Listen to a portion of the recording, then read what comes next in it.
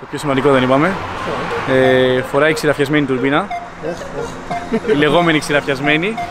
Ουσιαστικά είναι ένα υβρίδιο, η μαμά τουρμπίνα του Colt με αλλαγμένα φτερά.